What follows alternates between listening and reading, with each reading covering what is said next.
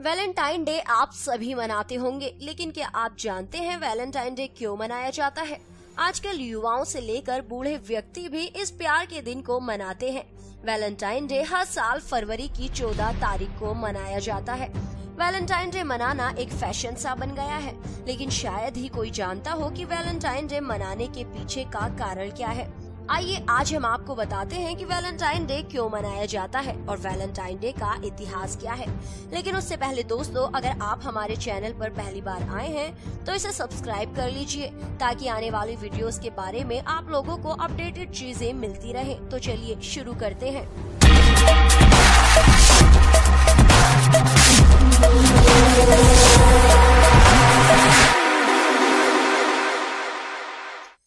जाता है कि वैलेंटाइन डे नाम संत वैलेंटाइन के नाम पर रखा गया है।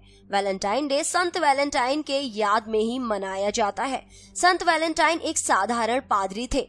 लेकिन फिर एक दिन कुछ ऐसा हुआ जिसकी वजह से संत वैलेंटाइन आज भी हमारे दिलों में ज़िंदा है।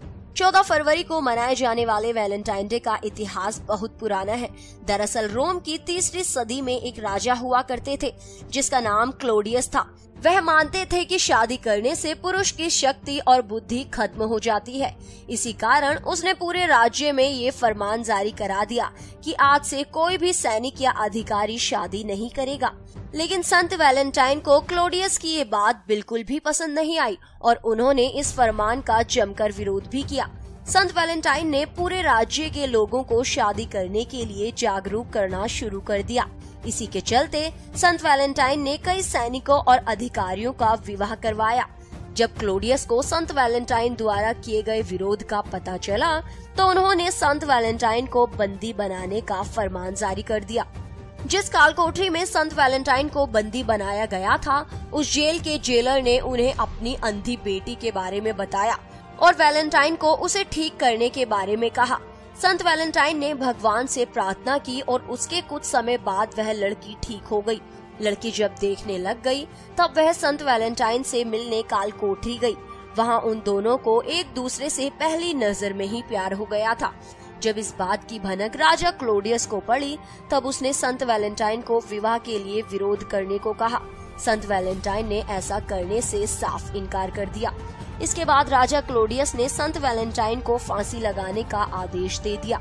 फांसी का आदेश सुनते ही संत वैलेंटाइन ने एक प्रेम पत्र अपनी प्रेमिका को लिखा और उसके नीचे लिखा फ्रॉम योर वैलेंटाइन राजा ने 14 फरवरी सन दो सौ उनहत्तर में संत वैलेंटाइन को फांसी लगवा दी और तभी ये उन्हीं की यादों में लोगों द्वारा वैलेंटाइन डे मनाया जाने लगा।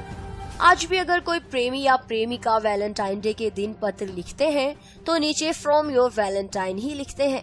लेकिन आज के जमाने में लोग ग्रीटिंग कार्ड्स देकर ही काम चला लेते हैं। दोस्तों, हमें कमेंट करके ज़रूर बताएँ कि आपको हमारी वीडियो कैसी लगी।